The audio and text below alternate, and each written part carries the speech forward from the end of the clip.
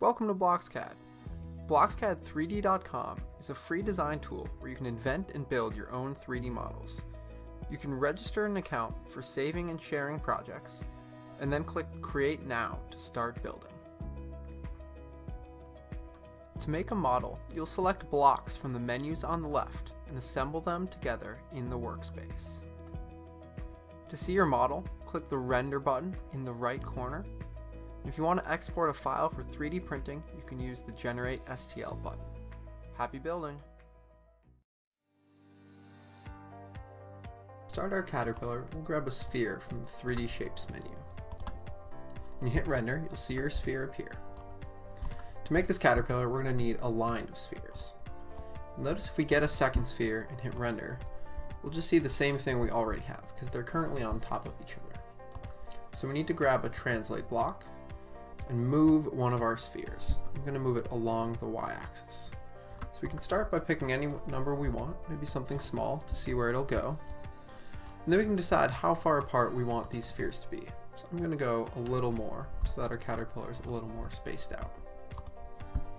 From here, I'm going to do a little copy and paste so that we can start adding more of these body parts to the caterpillar. I've now lined up five spheres, and I'm going to add a little color to a few of them so that we can see the difference here between our, our different pieces of code.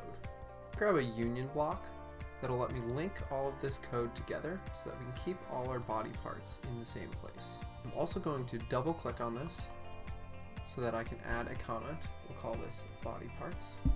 Now I can right click and collapse so that all our body parts are stored together. To add the head, I'm going to grab another sphere, make it a little bigger this time. We're to have to use another translation so that we can move it up above this body and forwards a little bit towards us. So I'm going to move it 10 units up the z-axis and a few units along the negative y-axis to push it forward and to the left. There's our head. Now you can go ahead and add some facial features using cylinders and spheres. I added some antenna and two eyes. For the antenna, I used black cylinders that I translated a little bit right and left, up along the z-axis, and then towards us along the negative y-axis. And for the eyeballs, I used some spheres that I also translated up, towards us, and side to side. Check out some other caterpillars that people have made.